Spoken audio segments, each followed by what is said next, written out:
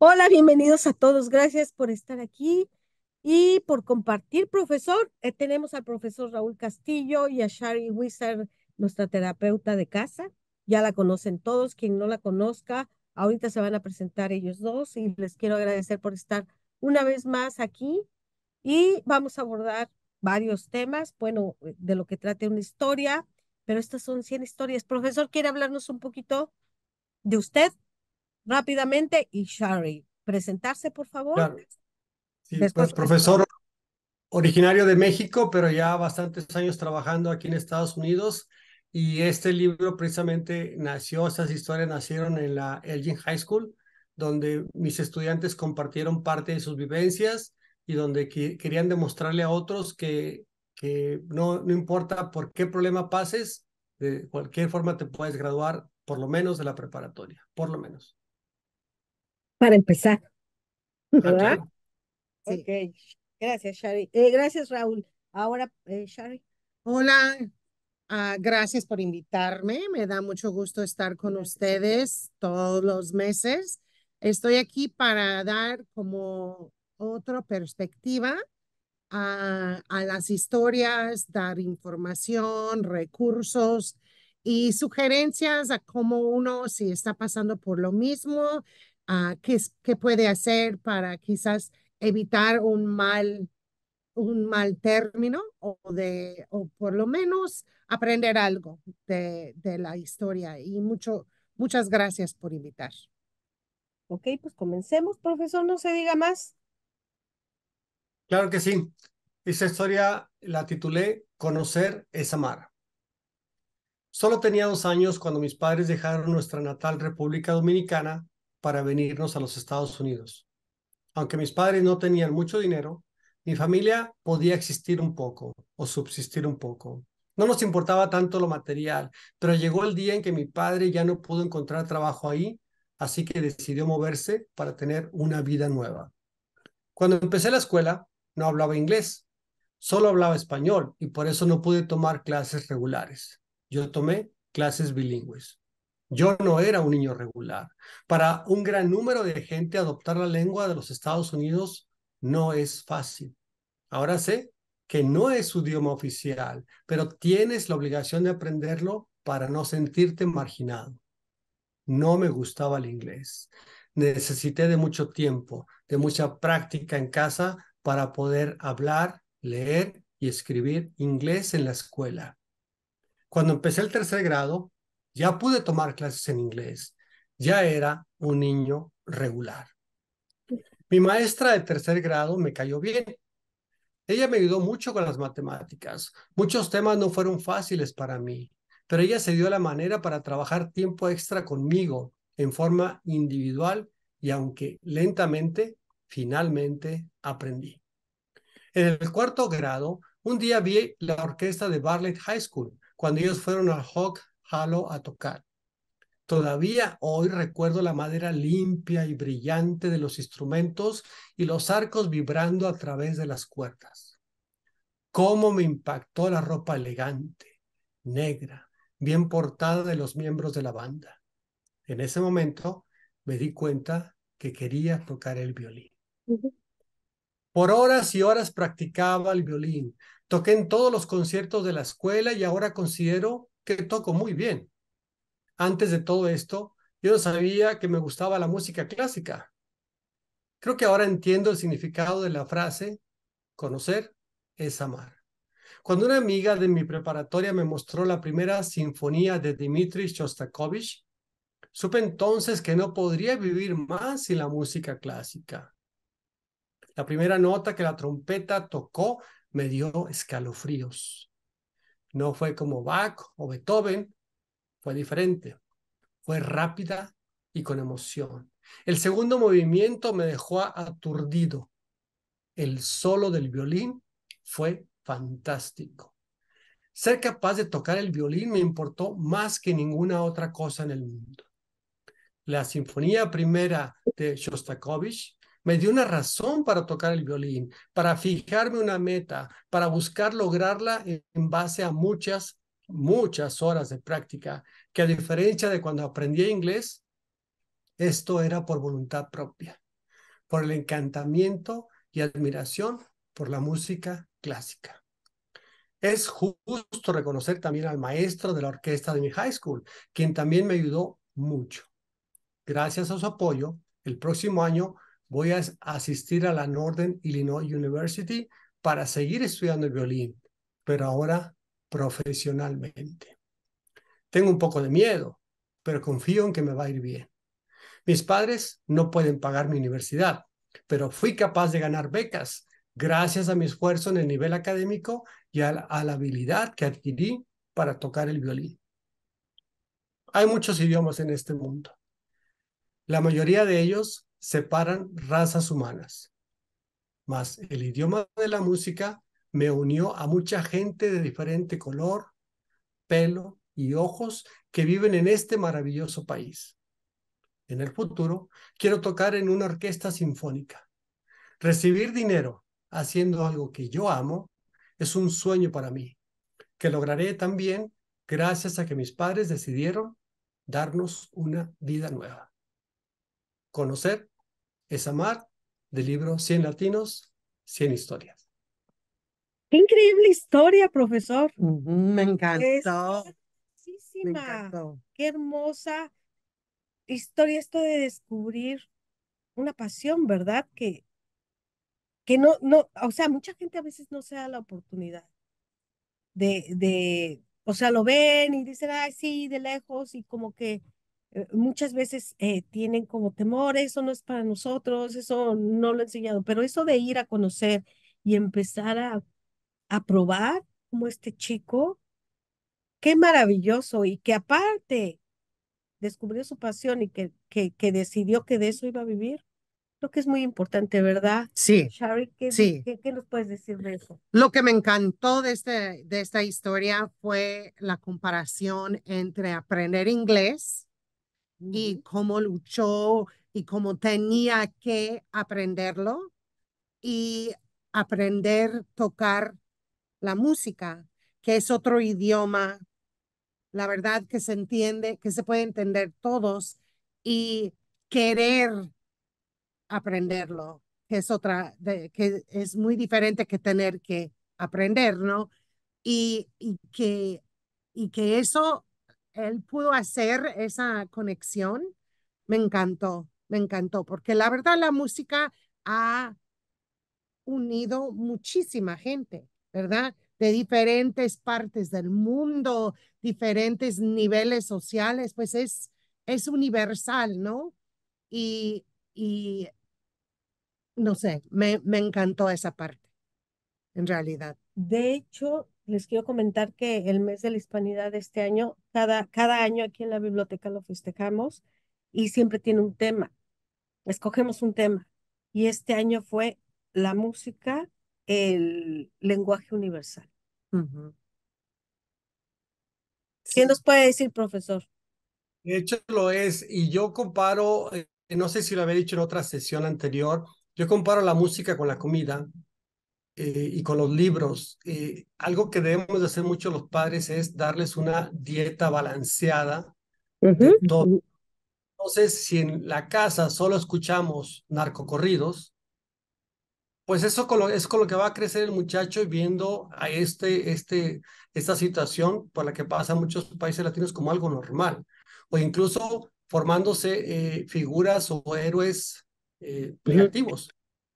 Pero si el muchacho o la muchacha desde niño empieza a escuchar música de diferentes géneros, entre ellos la música clásica, su mente se le va a expandir, su mente se le va a abrir a otros niveles. Pero insisto, si solamente escuchan reggaetón, reggaetón, reggaetón, puros corridos, pura banda, pura ranchera, a pesar de que seamos mexicanos o bachata, lo que sea, el muchacho, va, su dieta va a ser muy, muy, muy limitada. Y gracias a que este país tenemos muchas oportunidades de exposición y por eso es que el niño debe de escuchar todo tipo de música, debe de leer diferentes tipos de libros y debe de el papá de llevarlo a diferentes lugares, diferentes museos, porque en una de esas visitas es muy posible que nazca la pasión de este niño o de esta niña, como uh -huh. le nació. Porque luego, ¿qué tenemos ahora? Tenemos muchachos que llegan a los 20 años y no saben qué carrera quieren estudiar no saben qué quieren en la vida. ¿Por qué? Porque nunca fueron expuestos. Desafortunadamente, nuestras comunidades, los suburbios como el de Chicago, desafortunadamente muchos chicos lo único que conocen el fin de semana es la casa del tío o la casa del abuelo. De ahí no pasan. ¿Y qué es lo que ven? Lo mismo. Cada fin de semana ven lo mismo. Y así, pues, difícilmente les va a entrar alguna pasión. ¿No creen? Sí, definitivamente. Y eso es algo, y a veces se necesita valor para, para salir uno de su zona de confort, como los papás, ¿verdad? Que, que a mí me gusta la, la música ranchera y yo, porque eso me recuerda a quién soy, pero de, de abrir y decir, pero mi hijo, quiero que él escuche otras cosas también, ¿no? Eso no minimiza quién es uno, ¿verdad? Solamente abre, abre puertas. Y, la sinfónica de Elgin, la sinfónica de Elgin es buenísima, buenísima. Y no sé si todavía tengan ese programa de que todos los jóvenes pueden asistir gratis, ¿todavía lo tienen? Gratis, eh, no, pero con un adulto. Con un adulto, ¿verdad? Yo creo que sí siguen con ese programa, pero hay muchas facilidades y tienen programas increíbles. Se pueden acercar y pueden, por ejemplo, nosotros tenemos un programa en la biblioteca de jóvenes con, con el maestro Juan Fernández también, que colabora con nosotros. Y cuando viene a, a este programa que es el Círculo de Lectura y expone los chicos, al final Ofrecemos pases para la sinfónica gratuitos eh, y, para que los jóvenes puedan ir y pueda haber esta exposición, ¿sí? Y puedan ellos ver que no solamente se centra en, en, en lo que han oído siempre, sino abrirles ese panorama, de decirle, mira, también existe esto, también puedes tocar este instrumento que no conocías, o también puedes, puedes aplicar para becas incluso, incluso está más que comprobado, más que comprobado, y Shari lo sabe muy bien ustedes, de que cuando un niño aprende a tocar un instrumento desde niño, eso el cerebro les agiliza la mente, pero de una manera tremenda, tremenda. Sí. Y van a buscar, yo creo que eso también te ayuda como a desarrollar esas habilidades y buscas a amiguitos y tus compañeros que tienen los mismos fines, los mismos objetivos, ¿no? Y entonces es cuando ya te buscas eh, estar en una banda de música, es pertenecer. Entonces, qué increíble estar buscando algo así como ser un, eh, parte de un grupo o de ir a tocar. Entonces, eso es muy bonito y como dices, el lenguaje es universal, ahí no importa qué idioma hables, sino simplemente con que lo sepas escuchar, bueno, más bien que lo escuches, e, esa es una transmisión de, de, de, emociones y de, y de situaciones bien padres, muy bonitas. Ahora, lo, lo, lo, lo, único es que, por ejemplo, no todos tenemos el talento de la música, pero por lo menos puedes probar. Esta chica dice, hasta que lo conocí, lo amé. Entonces no puedes decir, no me gusta esto, si no lo has tratado. Es como la comida. O sea, ¿cómo puedes decir no me gusta si no lo has probado? Y tal vez no tenga el talento de tocar música, pero tal vez tenga el talento de bailar. Así tal es. Vez tenga, tal vez tenga el talento de pintar, no sé, eh, pero la, la cuestión es que llevar, invitar a los muchachos a probar, probar, probar, porque de ahí le van a hacer la pasión.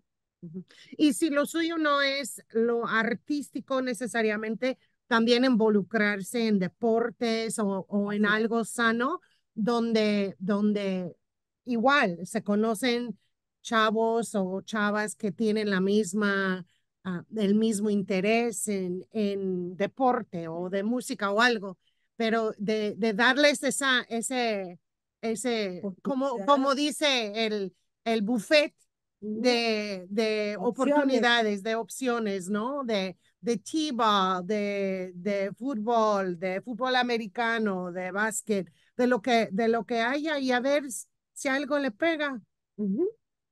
Y es que este país no es el país de la riqueza, este es el país de las oportunidades, que son dos cosas diferentes.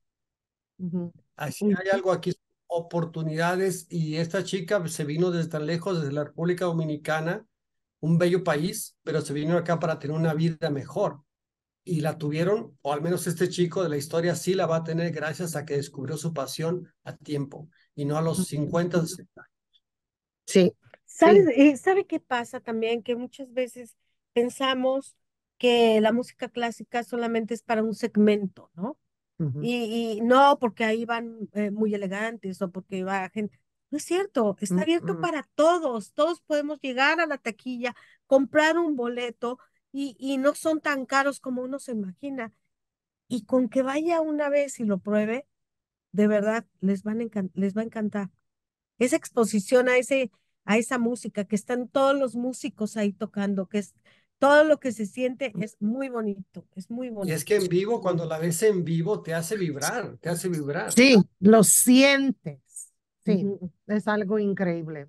Sí, los invitamos a todos donde estén, que se acerquen a su sinfónica, que se acerquen a sus grupos musicales, que se acerquen a, a, a, sus clases de música que tienen en la escuela, a su maestro, y que no pasa nada si, si piden, si les dicen cómo funciona esas las clases o qué, qué tipo de instrumentos se pueden tocar, porque entonces van a salir de dudas si realmente les gusta algo o solamente escuchar la música, ¿no, profesor? tienen, tienen muchas facilidades uh, en el distrito de aprender a tocar un, un instrumento, empezando en cuarto grado. Um, y, y se puede rentar el instrumento, no lo tiene que comprar y le dan transporte a las prácticas y a las oh. lecciones. Entonces es algo, es algo abierto para todos. Y quizá el niño no le va a gustar porque tiene que practicar o algo, pero así que, que estén expuestos a diferentes cosas, ¿no? Aparte es una disciplina. Y cuando tú aprendes, tú aprendes y eso te ayuda, a los papás va a ayudar, eh, aunque lo vean que nada más está con su instrumento, porque a lo mejor muchos dicen, ay, ¿qué está haciendo nada más? No, no, no, es parte de una disciplina que ellos les va a ayudar en su vida futura. Y eso es lo que podemos ver los papás, de que eso les va a servir, porque no nada más es llegar y tocar como, tú quieras, sino tiene que ser una disciplina y seguir, y eso te ayuda a que todos lo sigas de esa manera y haga, las cosas más ordenadamente, ¿no? aunque, aunque no, se, no resulte ser tan bueno como este chico que, que, llegó hasta a, a, ser becado. O sea, no todos, repito, como dije antes, no tenemos tanto el talento, pero por lo menos ya tuviste el, el, um, el, fruto, como dice Flor, de la disciplina. Ya tuviste el fruto de tener una pasión, ya tuviste el fruto de saber que practicando lo haces mejor. Así cualquier cosa. Así es. Pues qué maravilloso.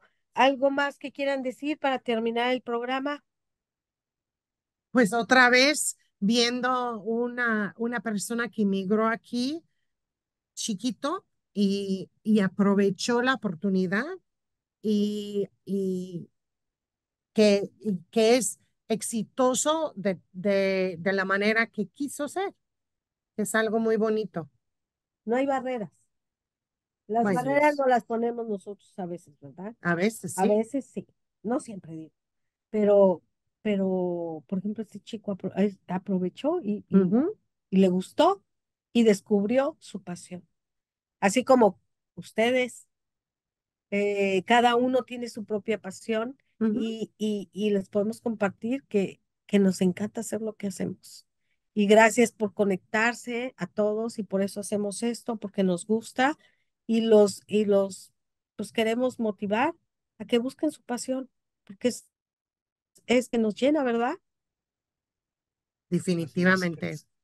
Y muchas gracias a todos por conectarse y les deseo que encuentren realmente esa pasión que tienen. Así que solamente es probando, probando. Si algo te llama la atención un poquito, puedes buscar información, puedes ver dónde puedes participar y no, y no, no pasa nada si, si no es tu pasión, sigue buscando, la vas a encontrar.